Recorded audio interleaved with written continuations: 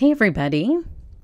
Today's video is going to be just a quick sped up colored pencil project with this beautiful little teacup full of flowers.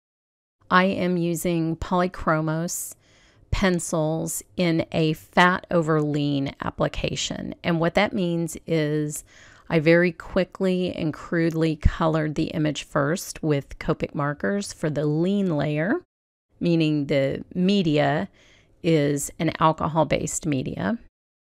And then I'm going over it with the fat media, which is an oil containing medium. This is a term from oil painting, and that's how oil painters do their layers as well. They do the lean layers first and then the fat layers. The purpose of doing the Copic marker here is to just quickly get down a lot of color that would take me forever to do with a colored pencil.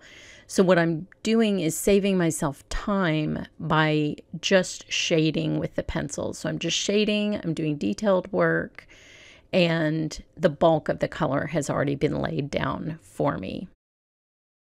I love this technique because colored pencils can be a very labor intensive way to color an image and this is sort of a large image. So quickly getting some marker down first really helps a lot and saves you a little bit of time, even though I do enjoy the process of both quite a bit. Sometimes you do want to actually have something finished. so in real life, this coloring session took about 30 minutes and I will just speed it up and put on some music and let you watch it come together.